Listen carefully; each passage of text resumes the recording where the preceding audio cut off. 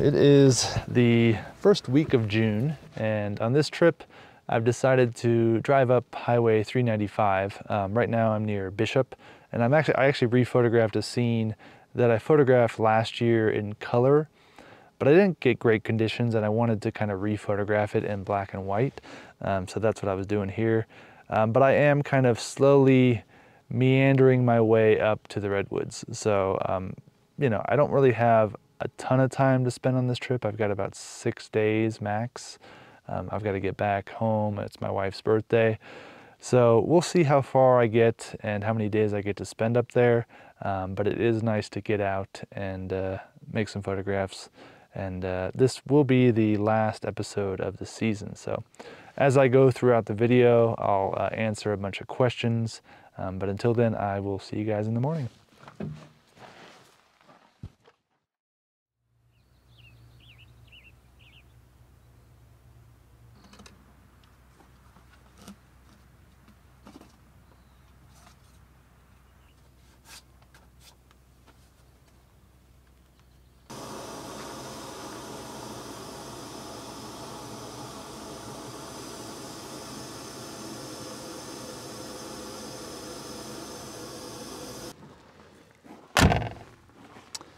Well, good morning. So the first question that I want to address in this video, and one that I received quite a lot this season, is what's the update on the darkroom? So I started the darkroom build, I think it was about late August of last year, and my goal was to get it dried in before the winter. And I, I got that uh, pretty much finished up. I have a little bit of siding to put on one of the gable ends, but overall it's pretty much um, finished on the exterior. Now, the next step in the process was trenching for the electrical and the plumbing. And the plumbing, you actually have to go down about four feet. Um, so, you know, with, with winter, uh, the ground is frozen solid, so I pretty much just put that on the back burner and started work again once spring hit. So about six weeks ago, I trenched for the electrical. I got that all into the building, uh, four different circuits. I've got outlets and lights and switches and all that sort of stuff done. Um, I've insulated, I've hung drywall, and um, next is gonna be taping and mudding, and then I have to refinish the floors, and um, I still have to trench for the plumbing. Um, I got the drains in and I still have to uh, hook up a mini split unit so and, build a deck. So there's just a lot of work uh, involved in building uh, a structure, a detached structure from a house. I obviously would have preferred to have had it somewhere in the house, but it just wasn't an option for me. I have a small house and uh, there was nowhere to put it. So that's kind of the update. I'm still working on it. It's just a lot of work for one person to do by themselves. Um, but I do plan on putting out a video kind of towards the end of fall. Hopefully I can get it all done of a tour and just kind of explaining the process as I go through the tour of the darkroom. Um, but that's the update and I'm gonna pack up camp now and uh, I'll see you guys at the next location.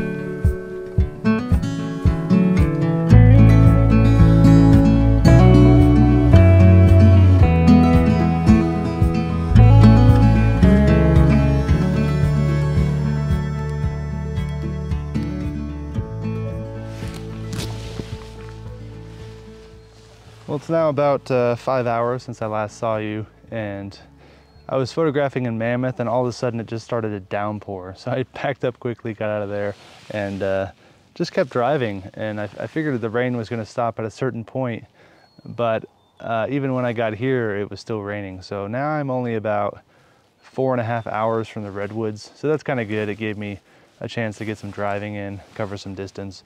Um, and I stumbled upon this scene here I got these two pines just kind of sitting out in the middle of this lake. And I think this is a bunch of flooding that happened here from the heavy uh, winter that we had in California this year.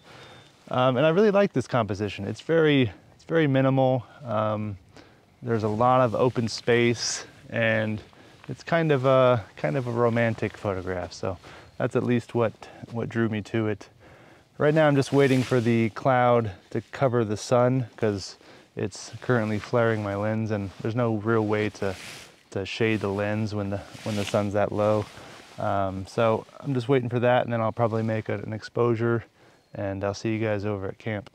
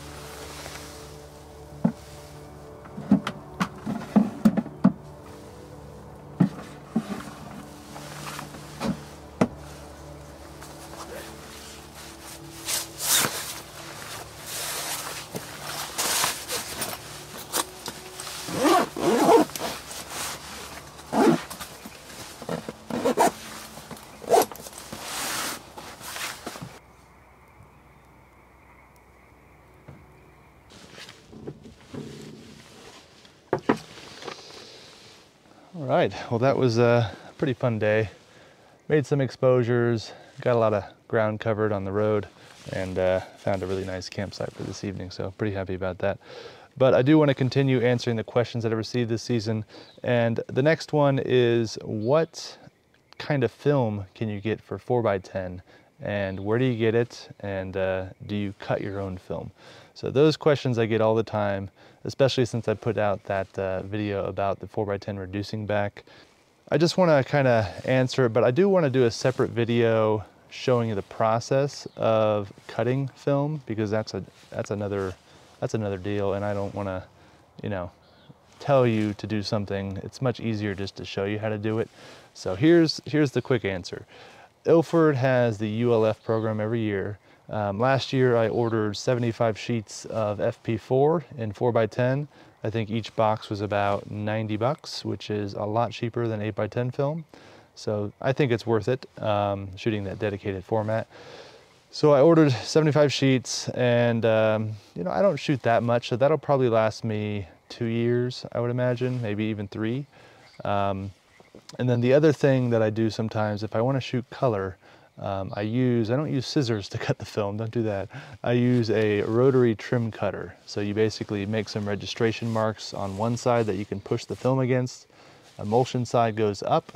You lift the little thing that holds the film flat, slide that in there, um, and then make a quick rip and you have two sheets of film. So it's a little tricky um, to do unless you have a dedicated uh, dark area to do that. I've tried it in a changing bag. It's not easy. I don't recommend that. You kind of have to have a dark room. So um, the, the only reason I say it's tricky is because you can very easily misalign the film and cut it kind of crooked or um, you can get confused like which side is the emulsion because remember you're cutting you're cutting the notches off one of the sides. So you have to keep track which side is emulsion up and which side is emulsion down. So I think uh, the way that I do it is I typically just cut it and right when I cut it, I load those two sheets into a holder that's right next to me. And that keeps it pretty simple and uh, easy to keep track of everything. So, um, but hopefully that answers your question on the 4x10 format and availability for film. Um, but I'm gonna eat some dinner and I will see you guys in the morning.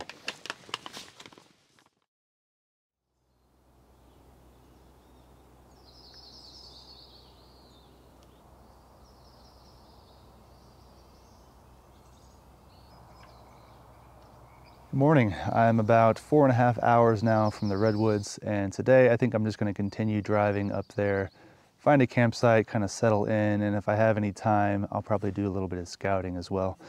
But I want to continue answering some questions. So one of the questions that I get, well, I shouldn't say one, it's more like a group of questions that I get all the time are uh, gear related questions. So, you know, what kind of lenses do you recommend? What kind of 4x5 camera should I get? What kind of bag do you recommend?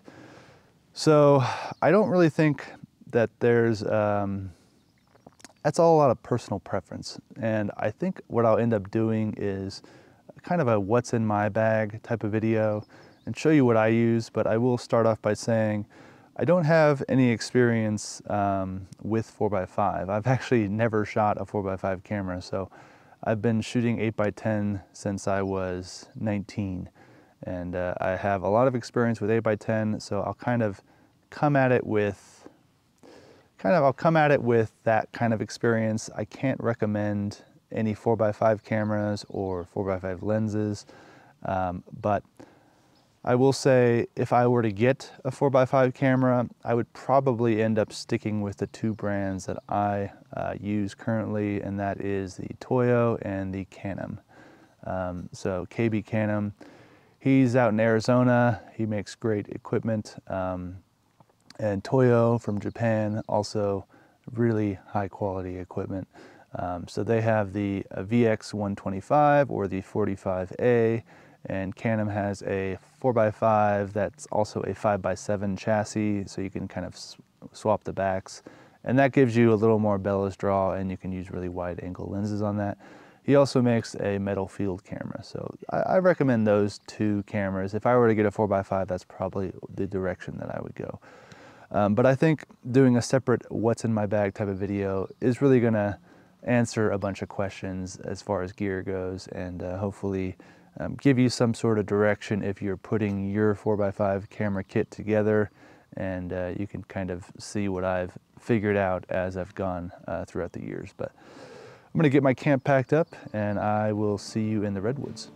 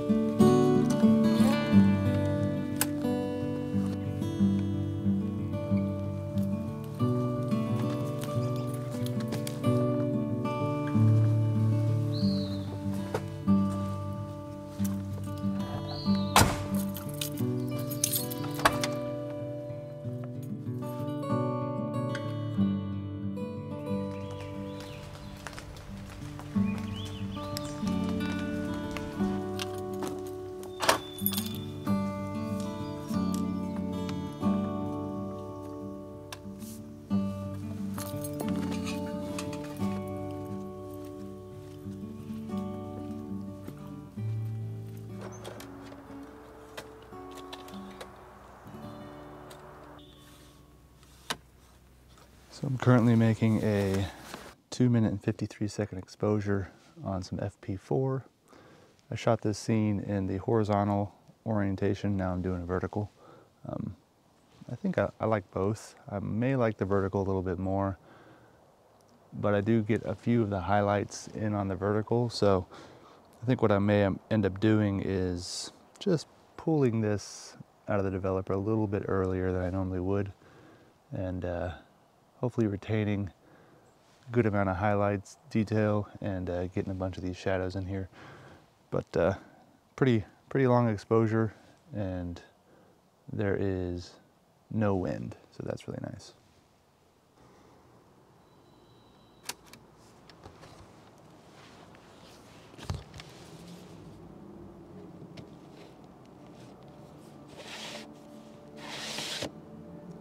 Well, as it turns out, there was a very slight breeze that day, just enough to sway the branches in the upper left and right hand corners on both my horizontal and vertical compositions.